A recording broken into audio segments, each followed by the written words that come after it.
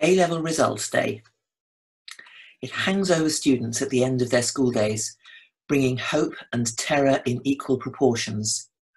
Will they get the, need, the grades they need for their university place? Or will they be plunged into the turmoil of hunting for an available place in their subject?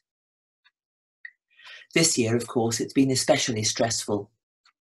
The virus made it impossible for, for the students to sit their exams, so the results have been decided by a computer algorithm, a set of rules to process information from various sources to come up with results. For some, results have been in line with their expectations and their teachers. Some have done better. Over a quarter of a million have done worse than predicted and found their futures suddenly uncertain. And in schools in deprived areas, there is a higher proportion of those achieving lower grades than expected. Will those students be able to achieve the potential their teachers have seen in them? Our hearts go out to these young people, ending their school days in isolation from one another, facing the stress of living with COVID 19, and now facing choices they did not expect to have to make. Have they been unjustly treated? A common reaction has been to contrast the capacity of computers to assess students with the insight of their teachers, who know them as individuals. And this fits into wider patterns in our society, where we have become accustomed to the phrase, computer says no, as a marker of the triumph of technology over empathy.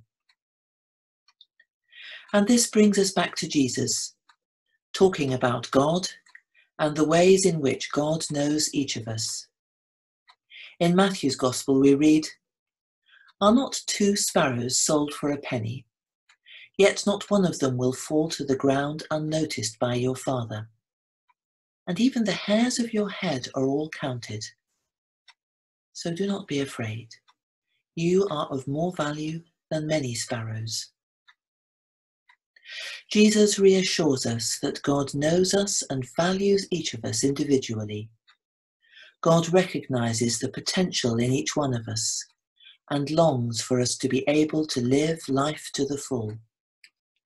In God's sight, no one can be downgraded on the basis of a computer algorithm or put to shame for being who they are. In compassion and love, our God watches over each of us I will not forget you. See, I have inscribed you on the palms of my hands, as the prophet Isaiah tells us. God knows us and loves us all. God is especially concerned about those who face poverty, hardship, and deprivation. And the whole Bible reflects that longing to give proper life chances to those who are on the margins of society the particular impact of this year's A-level results on students from deprived communities must bring sorrow to God. As people of God, we need to hold fast to God's understanding. People are valuable, whoever they are, whatever they may or may not achieve.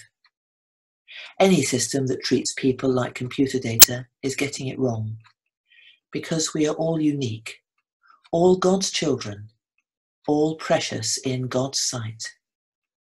Our worth is rooted in God's love, and nothing can take that away from us. This week, we end with a prayer from the Diocese of Liverpool for those coping with exam results. Father God, may your presence be felt as young people receive exam results.